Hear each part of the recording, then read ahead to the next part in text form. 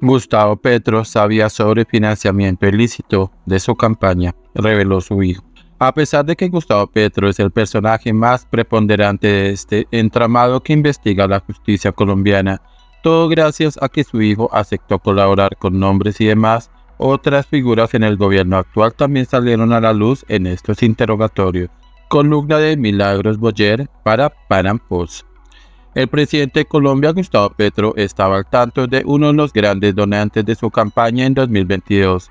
Era el mismísimo Euclides Torres, un conocido empresario señalado de ser el hombre que mueve los hilos en la política del Caribe, así como también presuntamente posee un monopolio de servicios públicos en dicha región.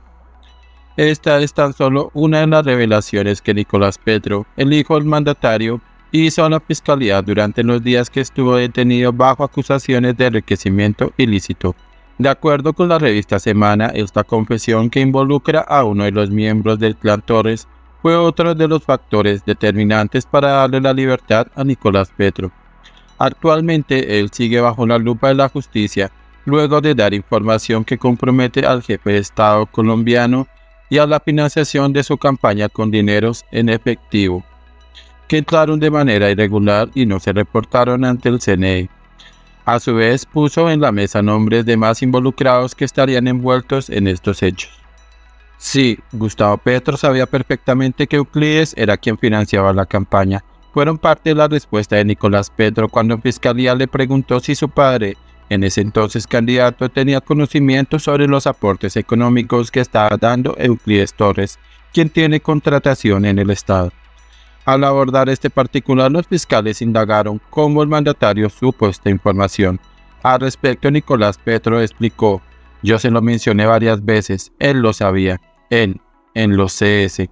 Cuando nos transportábamos para los eventos, siempre iba Pedro Flores. Entonces él y yo hablábamos de la financiación que Euclides financiaba.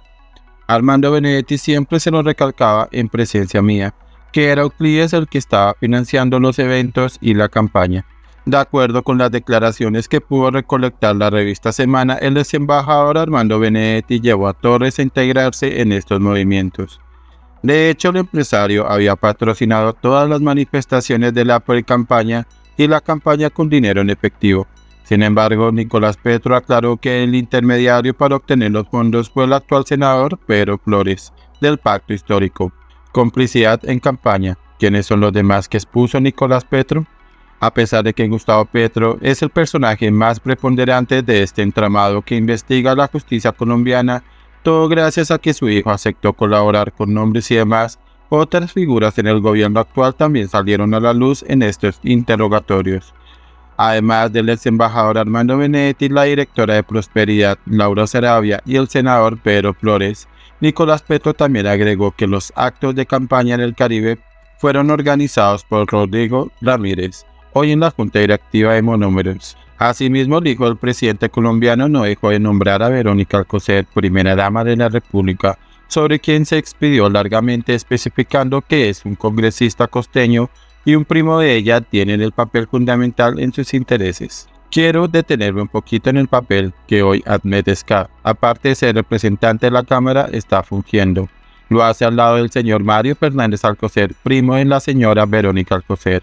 Hoy, ellos dos son los encargados de materializar los intereses políticos que tenga la señora Verónica Alcocer dentro del gobierno y en materia electoral. Tanto así que hoy Mario Fernández Alcocer es candidato a la gobernación de Sucre y el candidato de Escaf, el señor Varela, es el candidato en el Departamento del Atlántico a la gobernación. Además, son los encargados de ir a las entidades públicas a buscar beneficios propios y para la señora Verónica. ¿Estaba Gustavo Petro al corriente de estas andanzas de su esposa? Su hijo asegura que sí. Al respecto añadió que tanto así que pidió a los ministros no atender más a Inés Scaff ni al señor Mario Fernández Alcocer, quienes estaban maniobrando en torno a la primera dama, la cual tuvo una campaña paralela que requirió de una millonaria financiación por parte del empresario Cristian Daes, presidente operativo de Tecnoglass. La ocasión en que yo estuve presente fue en efectivo. Eran un morral, podrían ser 50 100 millones de pesos, eran fajos. Adriana Mejía, según Nicolás Petro, llevó el dinero a Bogotá para entregárselo a Verónica Alcocer, reseñó la revista Semana. que recibió Nicolás Petro en campaña. Ante Fiscalía, Nicolás Petro reconoció que desde 2021 empezó a recibir dineros para la campaña de su padre.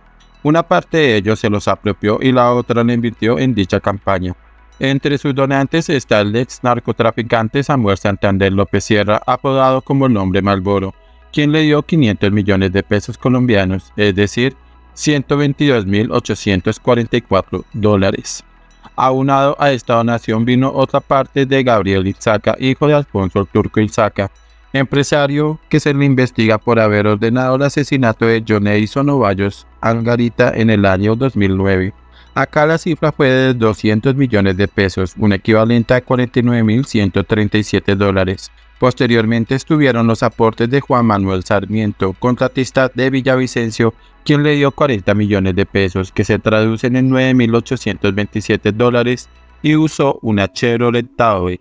Ahora un aspecto que abordó la fiscalía fue dónde se guardaba el efectivo si no entraba a los bancos o reflejadas en el aplicativo de cuentas claras del Consejo Nacional Electoral pues para sortear estos entes, Nicolás Petro detalló que tanto él como su ex esposa Day Vázquez acudieron a una caja fuerte, a Morales, y la transportaron entre varias ciudades para esconderla, apoyados con gente de toda su confianza.